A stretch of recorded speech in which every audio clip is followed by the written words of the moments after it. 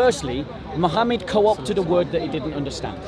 He heard it from the Jews, he repeated it to his followers, but he didn't get what the Jews meant by a Messiah. So when the Bible then mentions stories of, for example, Noah, Yeah. or mentions stories, so then, so, so for example, then someone who believes in Noah say, hang on a minute, Jesus was plagiarizing the works of Noah. Muslims often accuse Christians of manipulating our text, and yet I only have to pick up any Quran to see Muslims manipulating their text, Okay, that's true. sticking words into the translations that are not there in the Arabic. So remember, this is Allah speaking, Okay. and Allah can't utter falsehood, can he? Say that again. Allah can't say anything that's false, can he? Of course not. Right. So Allah says Okay. about the Quran, he says this. Islam teaches that if you try to leave the religion of Islam, you can be killed for it. Very false Pretty much all religions have, have, uh, Okay. have. All- all- Show, show me in the New Testament where that's taught. Is, Doesn't Christianity. In the Old Testament. is religion fabricated. We Christians by- don't follow the Old Testament, we follow the New they Testament. never made this Jesus the Jew, never. Jesus is- created after his death. Correct. Years and Correct. years and years. And he founded they a new covenant. Do you understand, bro, that Christians work by a covenant system? In Yeah. crazy. Right. So you understand we see ourselves as being in a new covenant, right? You don't refer to the Old zero. Of course we refer to the Old Testament. But we don't follow the Old Testament. You have no truth. The Old Testament is interpreted by the And I'm glad you have no power. And because it is interpreted by the new, today. obviously we refer to the Old Testament. Nobody, But we don't follow no the Old power. Testament. The, the Muslim, they I'm not inviting you to your taking realm. characterization oh, of Christianity. Can I ask you a question? I'm inviting you to real Christianity. Who's, who's the author of the Old Testament? There's many authors. But like, but who, where was the where was the book inspired from? How, how did it come to that? Was he the So we Christians believe that all Scripture is God breathed. So It's the whole, sorry? all Scripture is oh, God breathed. It's God breathed. So we believe that human beings wrote the books. Via the inspiration of God. Let me explain. Sure. Because our understanding of inspiration is different from your understanding of inspiration. Sure. Our understanding of inspiration is that God elevates human reason, human perception, and human ability to capture in history what God wants and what God is doing. So it, it is 100% man-made, and it is 100% inspired by God. That's what we The same with your Bible, 100% man-made. Your Bible, New Testament, sorry. 100% man-made. No, 100% man-made. Bible. So as, as Mark I was- Go, go, go, and. Matthew and Lucas, they were Greeks. They never sure. met Jesus. Yeah, yeah, let's move away from this. Go on, you were saying. So, um, so you're saying that the Testament was sort of inspired by what was man and God, or was it both, or how did you how do you explain? So, so I'll, I'll try and explain it perfectly, sure, as best as I can. Sure. Every book of the Old and New Testament is 100% man-made. okay. But those men had their reason, their ability, their perception elevated by the Holy Spirit to see what God was doing in history, to see what God values, to see what God wanted. we would you say they had the- only do business together. To, to give you an analogy, the spirit of God gonna close via all the, the the, view of a man. So he's looking through the scope of God. Is what you're trying to say in essence. Don't come here and preach. Let me use an analogy. I don't know how good it is. It may fall down. I might have to pick another one. To preach any religion. No preach They saw. Go they saw, but God provided the them or telescope see. whatever. Yeah. Mosque and Yeah. bloody. And they were the ones doing the seeing, and they were using all their natural abilities to do it. All that happened is God provided a mechanism by which they could see something. Religion is man-made. Okay. I don't know if that's a great analogy, Fabricated. Zero. We have zero back to your evidence. You know where Jesus You're just shouting. You know where he's shouting. Okay, let's let's, let's move away from this guy. doesn't even Let's Bye-bye. let's Yeah, but Bye bye. No, no, you talk Come on, come on, bro. Bye bye. Bye bye. like you. Bye bye. You were saying. Come and talk to me. As I was saying, so just to get you capture your understanding was that okay, so these men in the, the Old Testament were sort of looking through the, the scope of God, but then in the New Testament, It's the same, exactly the same. So it's like exactly the same. So now going back to the basic of things, who is God in itself? So just so I clarify, I'm a basic Muslim. So in terms of let's say you believe Jesus to be the you know the Son, then you got the Father and the Holy Spirit, right? Yeah. So my understanding is then. Is it was it all three that were giving these men the vision, or how, how would you explain that? When you say God, who do you mean by God? Do you mean So, Jesus? so, so we mean so so so this this within the economy of salvation, the act of inspiration is the work of the Holy Spirit. Right. So you're so so The Holy break Spirit- it down for me. I'm I'm just saying I've never So the Holy Spirit. this If you, if you read the, the, the if you read the Old Testament, I may even be able to find a passage, but I don't think it's I've got. I've got I've got it home, but So, I've not read it. Have you got Have you got? a I've got an old yeah I've got a Bible at home. The Old Okay. Testament, the New Testament. I would encourage you to read it, and if you've got any questions, contact me and we'll talk. So, in terms of in terms of the Christian faith, the the act of inspiration, and this is what the Church Fathers teach, is the work of the Holy Spirit. So, the Holy Spirit is the one who is inspiring each of the writers to capture the truth that God wants them to capture. Can I interject? But they are the ones capturing it. Sure. Can I ask now, how then do you test who really had the Holy Spirit and who didn't? Now imagine, just give me an example. That, the, there's- for example, there's people in the park, and there usually is someone who can randomly say, "I've got the Holy Spirit," right? Now, how do you know that that guy really has the Holy Spirit and he's not fibbing? And how can that be then construed as something that's uh, you're confident that the writers were not influenced by other means, as opposed to it was not just the Holy Spirit? That's a that perfectly fair valid. question? Yeah, of course it is. Of course it is. That's, that's my. Yeah, that's a the perfectly valid question. So the way that the church did it was this. And, and, and, and an example that kicked off this whole thing was a heresy called the Marcionites. So, the, so a guy called Marcion Yeah. Um, was someone who said, The Holy Spirit has inspired me to write these letters to the church. Sure. And that sparked a question within it the was- church. Should we believe that these letters are new inspiration to follow? Sure. And what the church did was it, it started to ask the question about how do we know which scriptures are God breathed and which scriptures aren't. The, the, you, I'm sure, I don't know if you know this, but in the first century, you, you, I think you understand that knowledge and education was not book based. Did you know that? Um, not entirely, but I can understand that. Right, so let me, let, let me clarify. Sure. In the first century, you didn't learn from books because books didn't exist. So you you learn it from people via Exactly. ver- verbal. It is a, a verbal tradition. Com- yeah. So what the church did is it looked at the writings that it had been familiar with from the beginning, yeah, and then it said these writings, which of these correspond to the tradition that we have received and have been maintained within the organisation of the church. Okay, so the first test was does it correspond to apostolic teaching? and it doesn't conflict with the ideas. It doesn't conflict.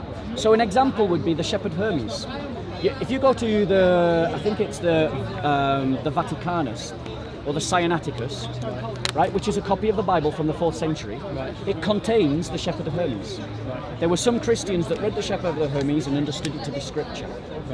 But the church came to the conclusion that whilst there's nothing wrong with reading the Shepherd of Hermes, it doesn't teach anything bad. It's a really popular book actually in the early church. It wasn't apostolic. Why? Because it doesn't. It, it wasn't known to the church earlier enough. So the earliest church fathers don't quote from the Shepherd of Hermes. So the second test is one, does it correspond to what the, we know the apostles taught because this is what we teach in the church? And the second one was, is it early? Like what are our earliest texts?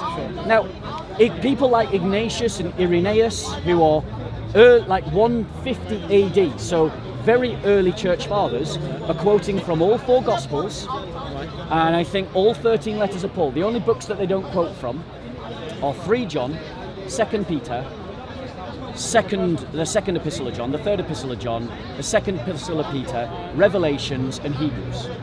Those are the only five books that we can't find witness for from the very earliest Christians.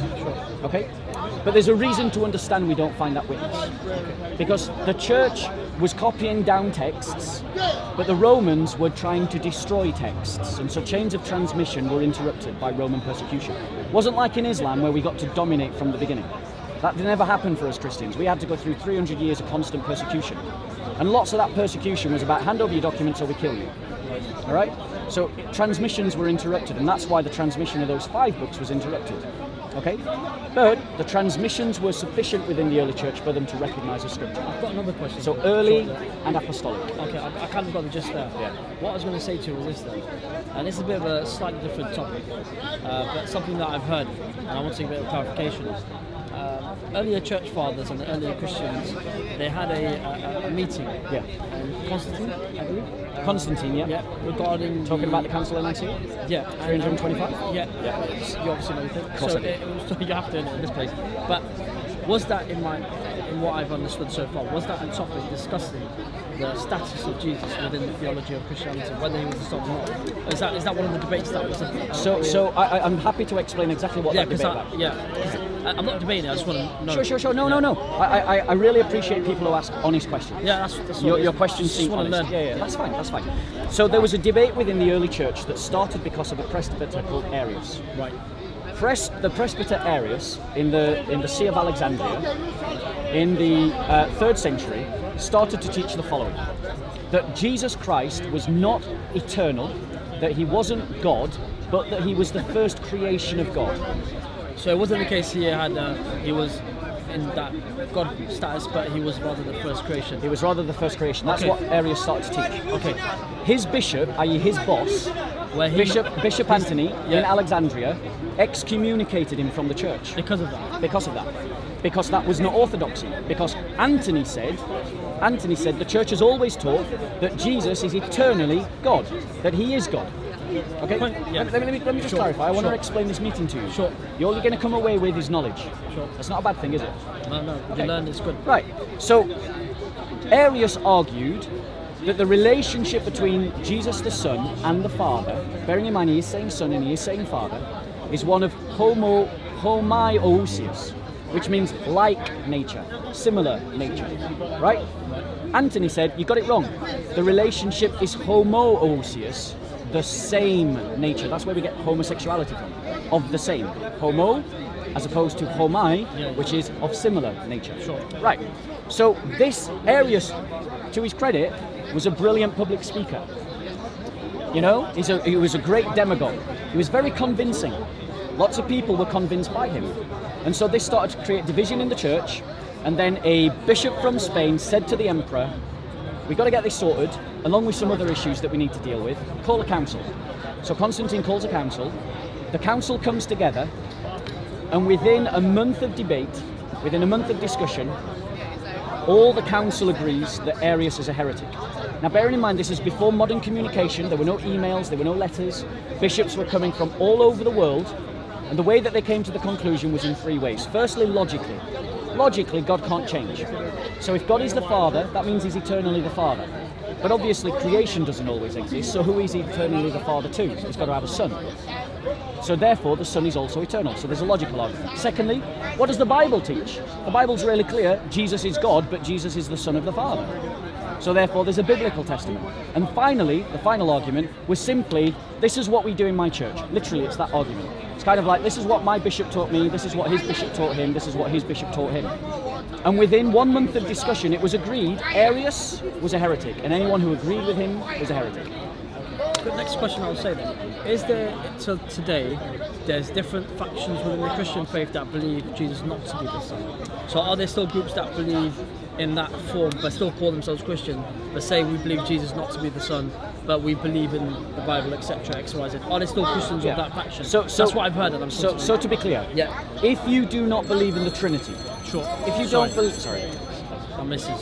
sure, Probably back in a What- session. yeah, She's here, yeah, it's yeah. it's very like, He's like, what are you please?" doing? Get off the camera. Yeah, yeah, yeah. So, so my Better point to you is, bro. My point to you is I'm not going to tell about the channel. She's going to see me ignoring the call. Alright. Go on. So my point to you is this: just like if a Muslim denied that Muhammad is the prophet of Allah, or said that there was another prophet after Allah, So you could argue that's a group, uh, the Qadianis. Qadianis basically, there's a group within, uh, I don't know if you heard of them, uh, they basically started off uh, in the 18th century, Right. uh, where they, oh, sorry, the 19th century, where they believed that uh, there was another prophet after prophet. right? And would you agree Uh, that? and obviously then that took them out of the fold And would you- would you agree- So right, exactly. basically you're using that example to say if anyone doesn't believe in the Trinity, They're not Christian. therefore they're not a Christian. Exactly. Well obviously them Christians will obviously no no we still are. Right, but what so makes then them Muslims. Then Muslims would say they're So- Muslims. So, my question then was what makes them believe they must have or someone's obviously told them Yeah. they've, they've got this belief from somewhere. Yeah. So my question is how did they come about that conclusion? Do you know anything about it? Yeah, yeah, of course, of course. It, it, it essentially begins by rejecting. Essentially, like you look at the Unitarians. The Unitarians emerged in the 1700s. Yeah. Right. They deny the Trinity, Right. and the reason why they deny the Trinity is because they deny the authority of Scripture. They say that reason is more important than Scripture. So if, if our rationality can't comprehend it, So it's it another way of ignore, it's another way of ignoring uh, laws. Yeah. If you go to any Unitarian, they don't give a monkeys what the Bible says. What they care about is what is the humanitarian ethic? What does the Enlightenment say? What does our philosophy say? What does reason say? So, So they're saying that truth is judged by their capacity to reason.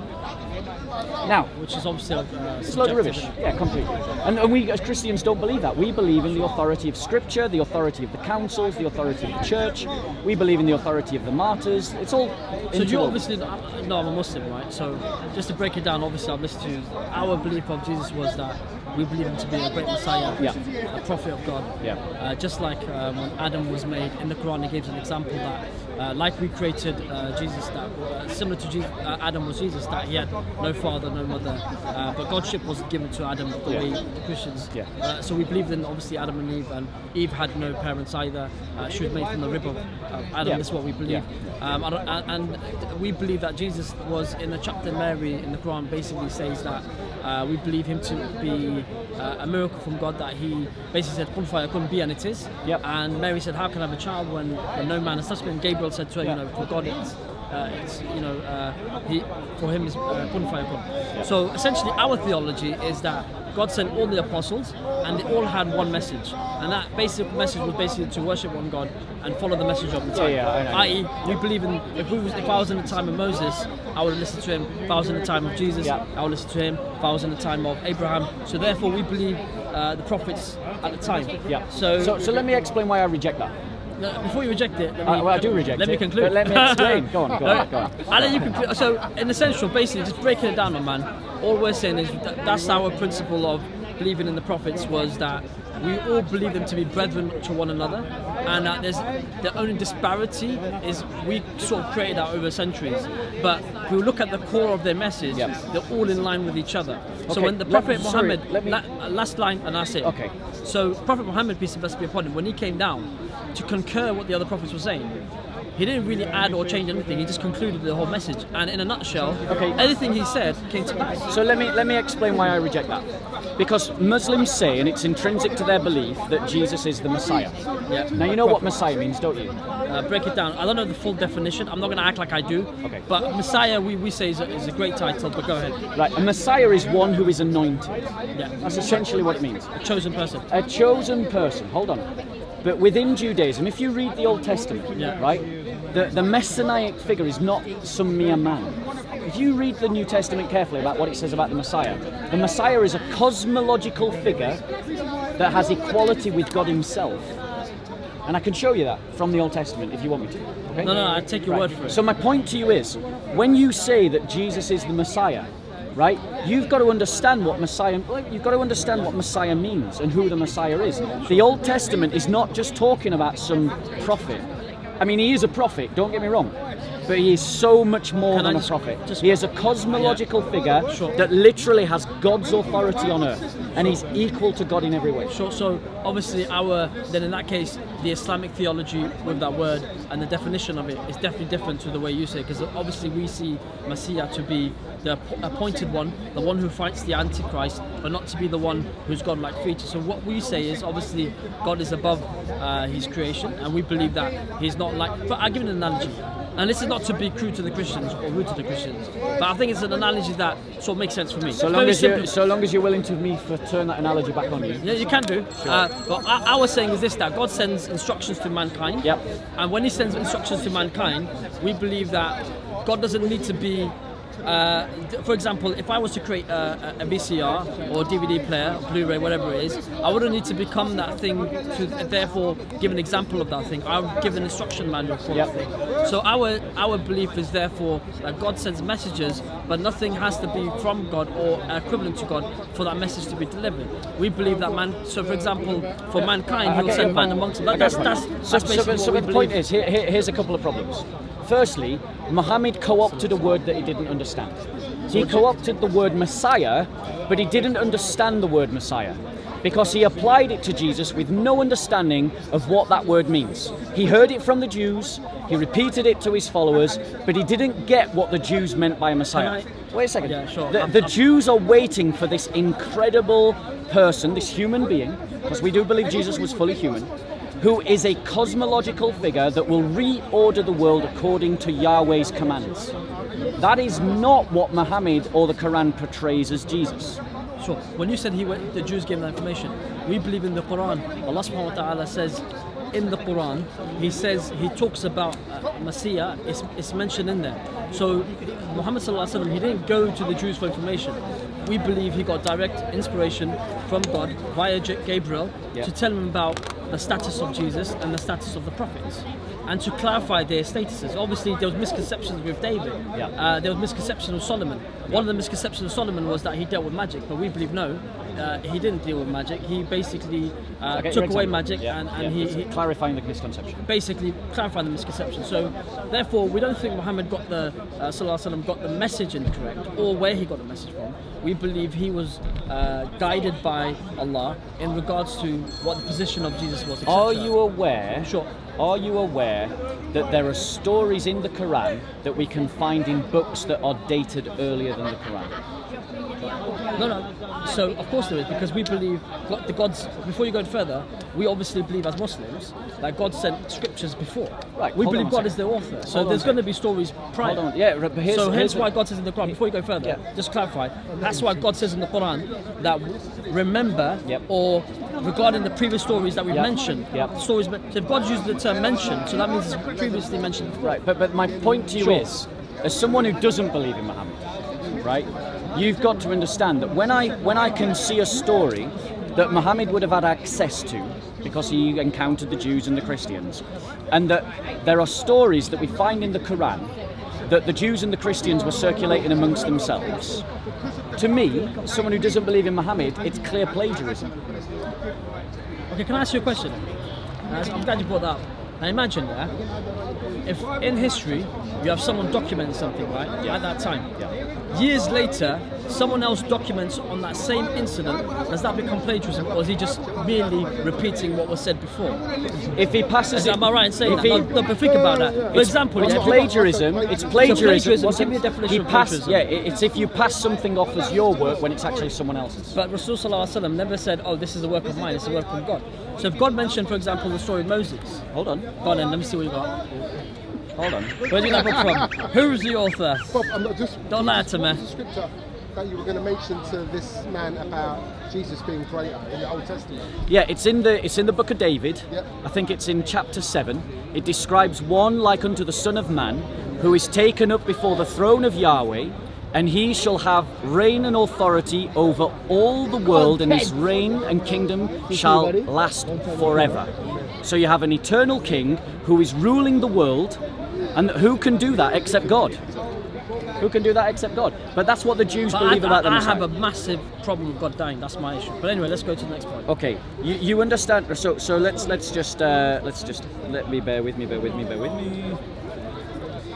Can I just call my missus while you're Yeah, of course, of course, of She's course. gonna be getting, she's gonna get pissed. So, So you don't know nothing. Why you're in what- there? what's your name, bro? Uh, Mohsin, Where are you from, Mohsin? um, from East London. okay, fair enough. But um, give me one second. Yes, of course.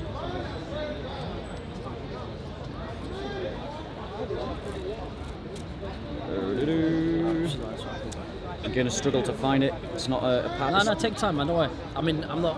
I'm Sure. not, not in a rush. Sure. Let me just see. Let me just see. Okay, Uh, you're getting told off, you. It's getting told off. So what did you say it was again? Uh, it, no, not that long. Should be. I should be there soon. Shall I take it? Okay, Surah 8119. So it By sounds the way, what? I haven't got much time. Yeah. Sure, Surah That was the- 81. yeah. Surah 19. 81, 19. Can I get that as well? Yeah, of course. 81, 19. Say 81, 19. I think I wait, wait, hang on. Is that talking? Uh, I don't know what the uh, the. I think I. Give me one second. I'll get that. Right? So remember, this is Allah speaking, Okay. And Allah can't utter falsehood, can he? Allah can't, Allah can't utter falsehood, can he? Say again. Allah can't say anything that's false, can he? Of course not. Right. So Allah says okay. about the Quran, he says this: Verily, this is the word of a most honourable messenger. What are you? You're not going to the beginning, from are you? Allah to, to Prophet. No, that's in quote. It's in brackets. No, no, no. no. Which which verse are you going from? Nineteen. Nineteen. Okay, let me get there. Yeah. So we're on the same page. Sure. So that indeed, the, yeah. Go ahead. Verily, this is the word, a most. This is the word, a most honourable messenger. Conveyed by your noble messenger. It doesn't say conveyed in See, here. this is the thing. Before you go further, Hold on, it doesn't say conveyed. in I know, I know. Let me just get, let me explain myself. It says here conveyed. here. Doesn't. The problem Yeah. here is I'm not there. I'll tell you why. You're asking me to trust your translation over this And I'm translation. not, I'm not going to go to that. I'm going to just go briefly about the language. Yeah. When it comes to Arabic, one thing we just have to clear from the beginning. Sure.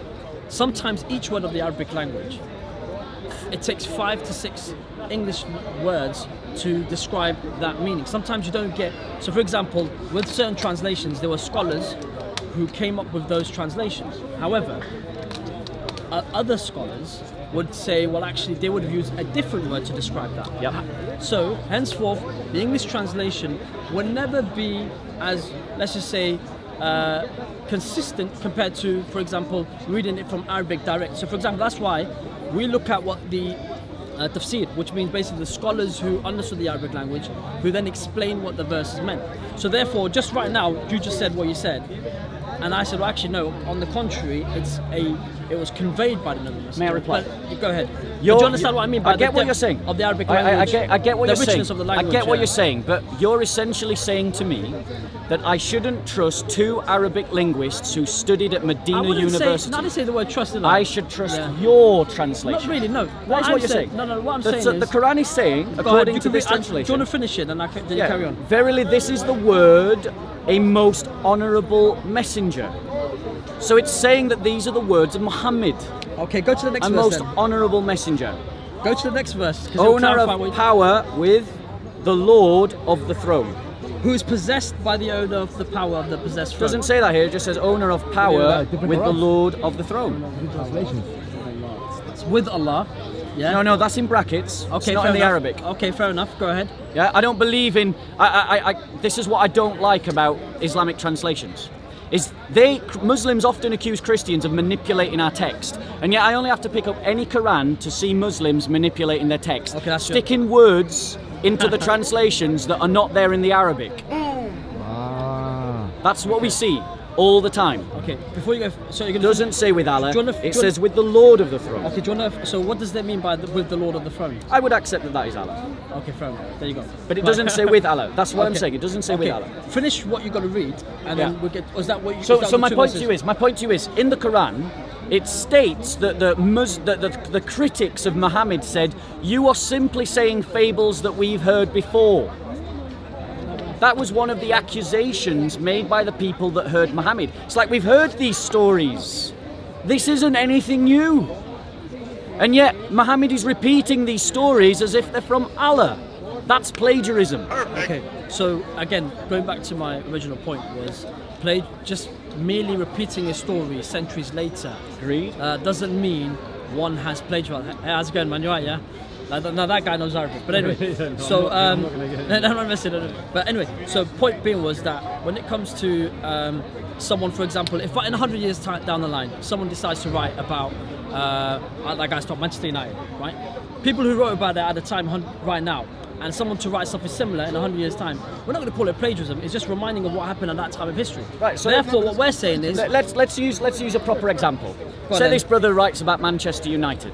but it's a good team, by. Right. Okay. Fair enough. I, I, I, I, I don't mind girls' sports. I just wish girls would play them. I'm a rugby man myself. Okay. So, so my point that was your opinion. That was a bit harsh. that- that's and by the way, what's wrong with So- it being a girls' sport? so what you gonna say? there's nothing wrong with it being a girls' sport. respecting I've just said I fully support girls' sports. I just wish girls would play them. They so my play point them. to you is, my point to you is, my point to you is, your point? if this brother writes about Manchester United, Yeah. and then I write about Manchester United a hundred years later, but I say I got this from Allah, when really I got it from him, then I have told a lie. Right.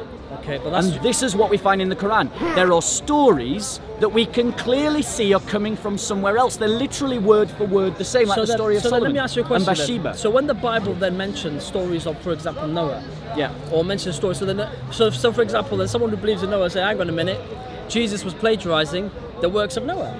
And So- that's just that, but that's not. But let me just finish my point. Yeah, go on. So if you're going to use that criteria, say that Prophet Muhammad sallallahu alaihi wasallam got his information and he plagiarized it from the Christians and the Jews, then one can argue, well, if the stories in the Bible, in the time of Abraham or in the time of uh, Solomon and other prophets prior to that, and the people who believe in them and not in Jesus will say, hang on a minute, no, they copied or plagiarized from our works, which is not the case. We don't believe that. We believe every now, we believe in history, God sent books a long time, and every time he sent a book, he would send another book to ye- centuries later because of the old ones we believe. let's- Let me finish. with- oh, I'll, yeah, I'll sure, summarize. sure. Because we believe the Islamic theology is that they were corrupted for various reasons.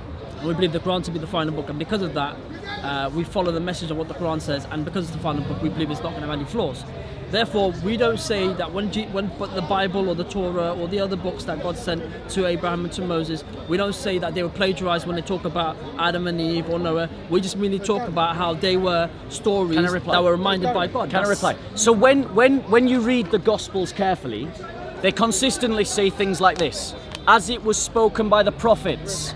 As it was spoken by the prophets. I can show you verse and verse again. As it was spoken by the prophets. As it was spoken by the prophets. Jesus said himself, as it is in the law of Moses, as it was spoken by the prophets. That's what Jesus and the, the, the writers of the New Testament do. What you're saying, what we're really talking about, is the, the clear evidence that Muhammad has taken a story that belongs to this group of people and ascribed it to Allah when he's taken it from somewhere else. Well, And it is literally almost word for word identical. The, the, the, the, the, the, the, the story of uh, Solomon Bathsheba in the Quran. You know that story? yeah, yeah, yeah. Right, that was a Jewish fable for children. We know where it came from. We know when it was written. It's in uh, it's in the Targum, uh, a Babylonian Targum. So it's a Jewish midrash that was used to teach children moral lessons. to be honest, that still doesn't really answer the question because what you're saying is you're basically being quite um, subjective here in the sense that you're saying, well, because Jesus used the terminology of the prophet said and the prophet said, etc., you're therefore then dismissing the idea that the Prophet Muhammad could therefore not get inspired by God and come up with the same stories that co-existed before. So when the Jews came to the Prophet Muhammad sallallahu and they asked him a question, they said, "What can you tell us about Dhul Qarnayn in Surah Kahf?" Right? and they asked about a man. So he goes, come back to me. So when obviously he got inspired, we believe, he came back, he narrated them the story that sort of, um, put this way, matched what they believed in, right? Maybe slight variation according to their books, but the long story short, just because the prophet comes with stories many centuries later, right? Before we even describe whether he plagiarized or not, what we need to really establish, and this is, I'm going to say my life final book, then I go back to my family because I never came. I'll come see you next week if you're here. Sure, sure, sure. Just to summarise what I was going to say was, before we discuss whether who's coming with what is correct or not, what we really need to establish is whether the man who's saying it is a prophet or not. Once you come to that conclusion, then anything after that would make sense, right? So before, because obviously I'm going to say, oh, Muhammad Sallallahu Alaihi Wasallam said this, Jesus said that, then you're going to be like, well, I don't believe you because I don't believe in the guy who's saying it. Exactly. Therefore, really, to test the thesis of someone is really to test the credibility of the man. And if the man, whatever he said in his entire life, was consistent and was not inconsistent, then obviously one will have to look at his what would it be, what evidence does one have to suggest that this man I can show is you telling a lie. But before in you his do life, that, I haven't got time, yeah, because you've heard the rings, yeah. I've had three rings All right, in it. all right, Yeah, all yeah, Four. Bro, Four bro, rings. See, bro, my man's a very witness. quickly, very quickly. Go on then. My But then final next point. week, if you're here, I'll Yeah, come down. absolutely. And what I would suggest to you is you pick up that Bible that's collecting dust at home. It actually you isn't. read it. I got it from a. I got it from an American preacher. Great. A very nice man. He lives in India. Really? But he's a white man who lives in India, knows my language. Yeah. The So, second so, so read it, Yeah. read it, and come back to me with questions, and we'll talk. The thing is, it's a big book, so it'll take me some time. Start in So the New could- Testament, anywhere in the New Testament. New Testament. So let me let me let me just finish my point. One very quick point. The reason why we know it's plagiarism is because the story that I'm talking about can't be found earlier than a certain date. Now I can't remember exactly what that date is, so I'm just going to pluck a I've date out of my one. head and I can be corrected I've later. got it at home. but Thank you. You listening? Like, it, So let's just me a book. let's just say it was found in the fifth century. If there is no history of that story for the centuries that come before it, going back to Jesus or going before anyone else, then we are reasonable and right to suggest that that story was made in the fifth century. And if that story then appears in the Quran, we have reason to believe that Muhammad plagiarized a story from the 5th century I've got a problem that has nothing to do with any prophetic But tradition at all. conflict what you started this conversation with when you said to me thought prior to the first sentence? Nah, but you just said something. Scott, I yeah, yeah, yeah, I had to refute you want though. to you want to have the last word? No, no, I'll let you have the last word. no, no. I'll let you have no, the there's last word. one thing I saw with that. This is the last word. The one problem I saw with that is when, in the beginning of the conversation, you said to me, prior to the first century, that there was time when knowledge was not passed by books, that was verbal information. Yep. So just because one cannot find the scripture prior to that doesn't mean it never happened. You know what the problem is? Go ahead. hey, wants the last word. You know, what is that? you're right, you're right, you're right. So you know what the problem is? Go on. It was the Christians that invented the book. We literally, we are the ones that invented the idea of sticking leaves of material together in a bind with a bo- with a with a spine. That was a Christian invention. We did that. So by the seventh century, education was increasingly more by books. Okay, on that bombshell. On that bombshell, you have a good day. Uh, listen, what was I going to say? What, you here next week? Yeah, yeah. Read, read your Bible. Come back with some questions. what's your name? Bob. Bob. It's not my real name, but it's the one I'll go by here. Fair enough. Uh, What's your name again? Mosid, man. Mosid, nice to meet you. Yeah, nice see to meet you. Next week, hopefully. Really nice. Thank you, bro. Yeah, Good, take care. good soul. God bless, bro. Okay. Soco film. Soco film. S-O-C-O film. Let me just put it down so I can. Are you going to post this later? Yeah, yeah, I'll probably post it like later on. Yes.